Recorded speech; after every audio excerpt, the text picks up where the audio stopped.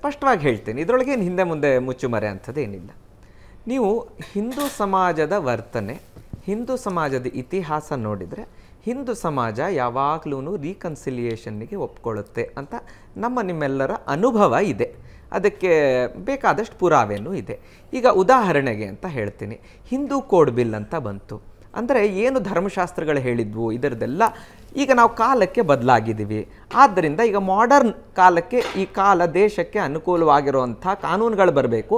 ನಮ್ಮ ಧರ್ಮಶಾಸ್ತ್ರಗಳು ಯಾವುದೋ ಕಾಲದಲ್ಲಿ ಇದ್ವು ಅದು ಬೇಡ ಇವಾಗ ಹೇಳಿ ಅದನ್ನೂ ಎಲ್ಲ ತೆಗೆದು ಮುಂದೆ ಬಂದಿರೋವಂಥ ಹಿಂದೂ ಸಮಾಜ ನಮ್ಮೊಳಗಿದೆ ಸೊ ನಮ್ಮ ಹಿಂದೂ ಸಮಾಜದ ಅನುಭವ ನೋಡಿದರೆ ನೀವು, ಇದಕ್ಕೆ ಅಂದರೆ ರೀಕನ್ಸಿಲಿಯೇಷನ್ನಿಗೆ ಹಿಂದೂ ಸಮಾಜ ಯಾವತ್ತೂ ತಯಾರಿದೆ ಅನ್ನೋದು ನಮ್ಮ ಗಮನದಲ್ಲಿ ಇರಬೇಕು.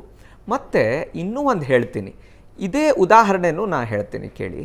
ನೈನ್ಟೀನ್ ನೈಂಟಿ ನೈನ್ಟೀನ್ ನೈಂಟಿ ಒನ್ನಲ್ಲಿ ಇದೇ ಥರ ರೀಕನ್ಸಿಲಿಯೇಷನ್ ಮೀಟಿಂಗ್ಸು ಅಯೋಧ್ಯ ರಾಮ ಜನ್ಮಭೂಮಿ ಸಂದರ್ಭದಲ್ಲೂ ನಡೆದಿತ್ತು. ಆವಾಗ ನಮ್ಗೆಲ್ಲರಿಗೂ ಗೊತ್ತಿರೋ ಹಾಗೆ ಬಾಬ್ರಿ ಮಸೀದಿ ಅಂತ ಹೇಳ್ತಾ ಇದ್ದಿದ್ದು ಈಗ ಮೊದಲಿಂದಾನೂ ಎಲ್ಲ ರೆಕಾರ್ಡ್ಗಳಲ್ಲೂ ಜನ್ಮಸ್ಥಾನ್ ಮಸ್ಜಿದ್ ಅಂತಾನೇ ಇತ್ತು. ಜ್ಞಾ ಜ್ಞಾನವಾಪಿ ಮಸೀದಿ ಜನ್ಮಸ್ಥಾನ್ ಮಸೀದಿ ಇದನ್ನು ಎಲ್ಲಿ ಕೇಳ್ತೀರಿ? ಅಲ್ವಾ?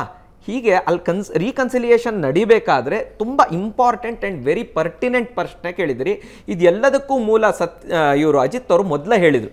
ಸತ್ಯದ ಮೇಲೆ ನಮ್ಮ ಬುನಾದಿ ಮೇಲೆ ಕಟ್ಟಡ ನಿಲ್ಲುತ್ತಾ ಅಂತ.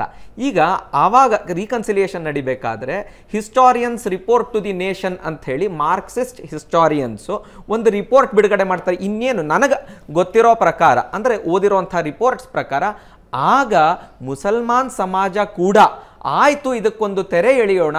ನಾವು ಈ ಜಾಗನ ಬಿಟ್ಕೊಡೋಣ ಅನ್ನೋ ಒಂದು ಮನಸ್ಥಿತಿ ಬರ್ತಾ ಇತ್ತು ಅನ್ನೋ ಸಂದರ್ಭದಲ್ಲಿ ಈ ಮಾರ್ಕ್ಸಿಸ್ಟ್ ಹಿಸ್ಟಾರಿಯನ್ಸ್ ಏನು ಮಾಡ್ತಾರೆ? ಇಲ್ಲ ಅಲ್ಲಿರೋದಕ್ಕೇನು ಪುರಾವೆ ಇಲ್ಲ, ಒಡದೇ ಇಲ್ಲ ಅಲ್ಲೇನು ಇಲ್ಲವೇ ಇಲ್ಲ ಅಂತೆಲ್ಲ ಹೇಳಿದ ತಕ್ಷಣ ಅವರಿಗೆ ಅನ್ನಿಸ್ತು? ಪುರಾವೆನೇ ಇಲ್ಲದೆ ಇದ್ಮೇಲೆ ನಾವು ಯಾಕೆ ಬಿಟ್ಕೊಡ್ಬೇಕು ಅಂತ ಅನ್ನಿಸ್ತು. ಈಗಾದ್ರೂ ಎ ಎಸ್ ಐ ರಿಪೋರ್ಟ್ ಬಂದಿದೆ. ಮತ್ತೆ ನಾ ಹೇಳಿದ್ನಲ್ಲ ಆವಾಗಲೇ ಅಂಗೈ ಹುಣ್ಣಿಗೆ ಕನ್ನಡಿ ಬೇಡ ಅಂತ ಯಾರಿಗೆ ನೋಡಿದ್ರು ಅದು ಇದು ಅಂತ ಕಾಣಿಸುತ್ತೆ. ಮಂದಿರ ಅಲ್ಲಿತ್ತು, ಅದು ಮಂದಿರದ್ದೇ ಅವಶೇಷಗಳನ್ನು ಉಪಯೋಗಿಸ್ಕೊಂಡೇ ಮಾಡಿರುವಂಥದ್ದು.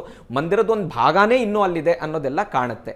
ಆದ್ದರಿಂದ ಹಿಂದೂ ಸಮಾಜದ ವರ್ತನೆ, ಹಿಂದೂ ಸಮಾಜದ ಇತಿಹಾಸ ನೋಡಿದರೆ, ರೀಕನ್ಸಿಲಿಯೇಷನ್ಗೆ ಕೂತ್ಕೊಂಡ್ರೆ ಹಿಂದೂ ಸಮಾಜ ಒಂದು ಹೆಜ್ಜೆ ಅಲ್ಲ ಹತ್ತು ಹೆಜ್ಜೆ ಮುಂದೆ ಬರುತ್ತೆ ಅನ್ನೋ ನಂಬಿಕೆ, ವಿಶ್ವಾಸ ನನಗಿದೆ.